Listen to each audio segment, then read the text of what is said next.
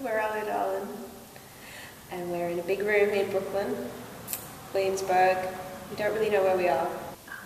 This song is called Neil Armstrong.